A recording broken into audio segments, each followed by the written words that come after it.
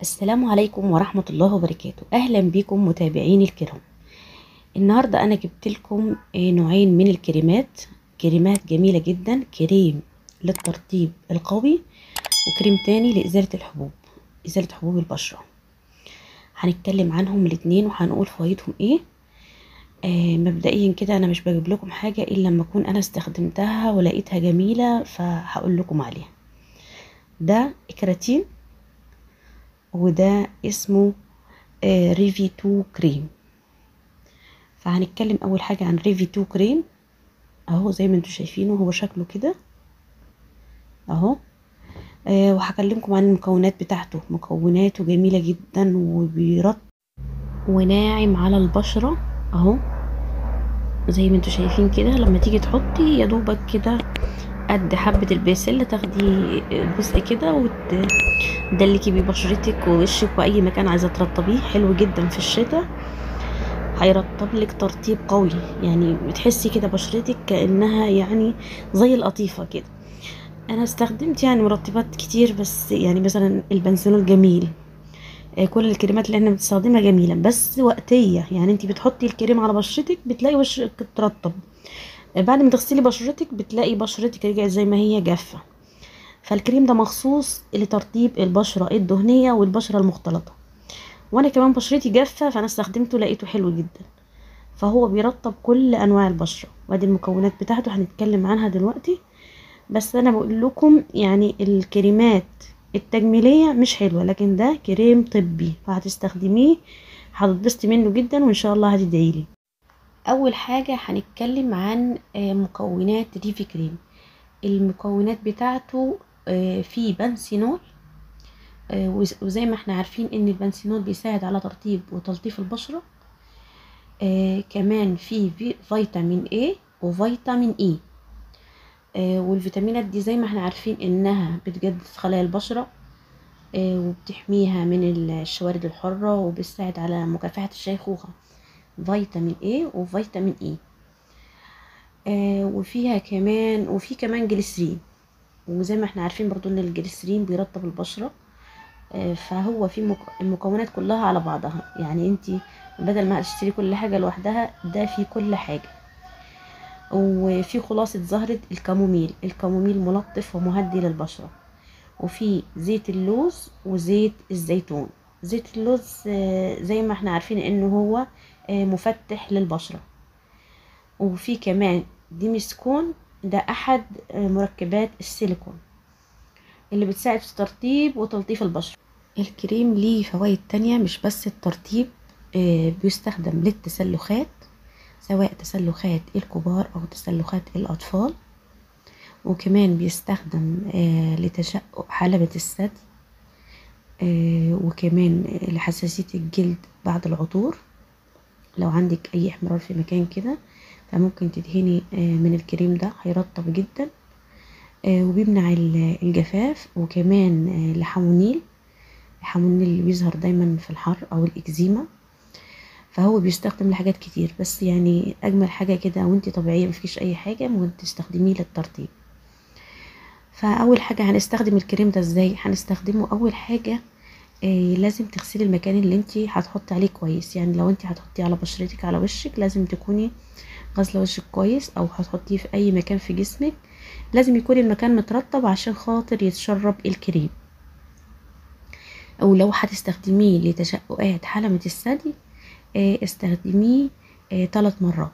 هتطبقي الكريم على بشرتك آه، بحركات دائرية. آه، زي ما قلنا هتاخدي آه، يعني جزء صغير بحجم حبة البسلة يعني حتة صغيرة على طرف صباعك ما تكتريش مش بكتر ال- الحاجة هو يعني. فهو هيفضل معاكي برضو فترة كبيرة لو كنت بتستخدمي لبشرتك بس يعني مش لجسمك.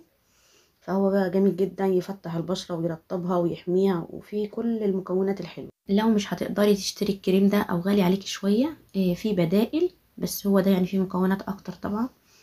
بس البدائل بتاعته ممكن ماندو كريم أو ممكن Bepanthen Plus أو Sudocrem. آه، دي كلها بدائل. بس هو طبعا إيه المكونات بتاعته أجمل. هتستخدميه إن شاء الله ومش هتستغني عنه ابدا. آه كده آه وفينا كده كريم ريفي كريم. هندخل بقى على Acretin. زي ما إحنا عارفين إن Acretin ليه تركيزين. زي ما أنتوا شايفينه كده. هو مش بيستخدم بس لعلاج حب الشباب كمان بيستخدم لتفتيح البشرة.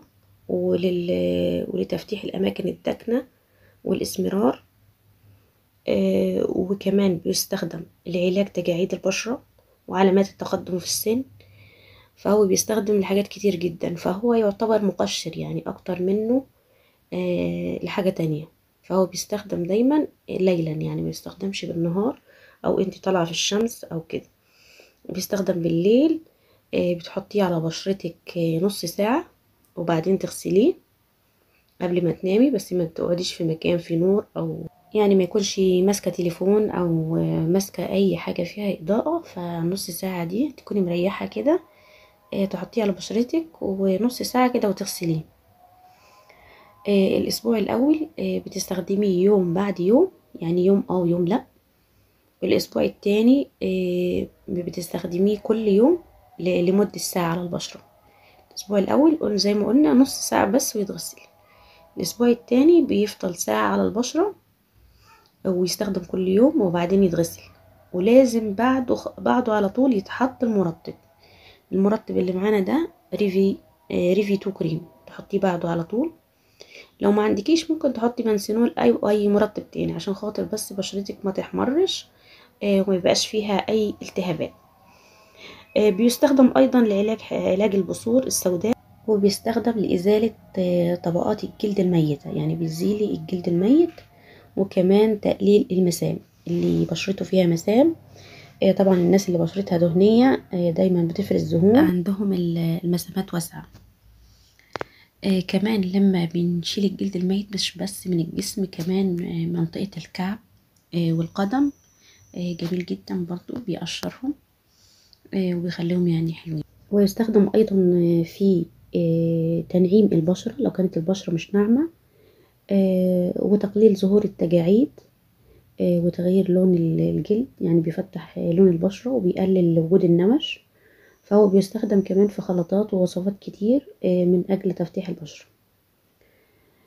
فقبل ما نستخدم الإكراتين لازم في البداية غسل الوجه جيدا بالماء الدافئ يعني اغسلي وشك كويس بالمية الدافية وتنشفي وشك بلطف كده. آه لازم المية تختفي تماما آه يعني قبل ما تدهني من الكريم. يعني تسيبي وشك كده لمدة عشر دقايق حتى تختفي آثار المية تماما من على وشك. بعدين قومي بوضع كمية من الكريم على الحبوب فقط خلال فترات الليل لو كنت هتستخدميه للحبوب. لو انت هتستخدميه كمقشر ممكن تحطيه لبشرتك كلها. بس إيه تتجنبي الضوء آه لمدة تتراوح بين عشرين لتلاتين دقيقة على بشرتك. آه بعد انتهاء المدة المحددة قومي إيه بغسل الوجه يعني اغسلي وشك. آه وحطي المرطب زي ما أنا قلتلك قبل كده. لو بشرتك حساسة من المقشرات بقى ما تحطيش لازم تختبري أي كريم تحطيه لازم تحطيه على جزء صغير مش باين عشان خاطر آه يعني ما يضرش بشرتك. وبعدين تقولي لا بشرتي التهبت بشرتي احمرت. فانت لو بشرتك حساسة يا إما ما يا إما تختبريه الأول. تمام. ممكن كمان للتقشير السريع أو تحافظي على بشرتك من الالتهابات وكده ممكن تستخدمي معاه بيتاديرم أو ميلوكين. آه بس هما الكريمين اللي معانا دول آه كافيين وحلوين جدا. بس قبل ما أسيبكم نسيت ما أقول لكم حاجة مهمة جدا. إيه ابعدي عن منطقة الفم ومنطقة تحت العين. إيه لما تدهني الاكراتين أو أي مقشر للبشرة. المرطب مفيش مشكلة تحطي بقى حوالين بقك أو حوالين العين لكن المقشر؟ ابعدي عن حوالين الفم وحوالين تحت العين لأن دول أكتر مكانين بيلتهبوا. كده نكون وصلنا لنهاية الفيديو بتاعنا. يا رب يكون الفيديو عجبكم. لو الفيديو عجبكم إيه ما تنسوش تعملوا لنا لايك حلو وشيروا الفيديو لأصحابكم. والسلام عليكم ورحمة الله وبركاته.